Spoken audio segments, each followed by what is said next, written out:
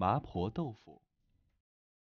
大蒜一半切末，生姜五克切末，葱一根切葱花，小米椒二十克切末备用。豆腐一块切为小方块，每块约为两厘米左右。牛肉八十克切末备用。锅中加入适量水烧开，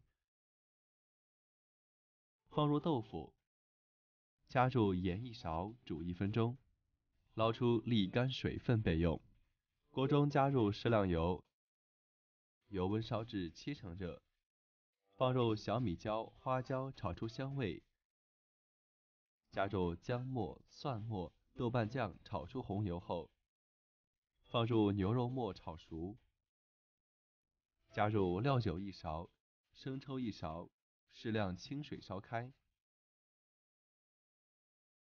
放入盐两勺，鸡精一勺，糖一勺调味儿，放入豆腐煮五分钟，让豆腐入味儿。最后放入淀粉勾芡后装盘，撒上花椒粉、葱花即可。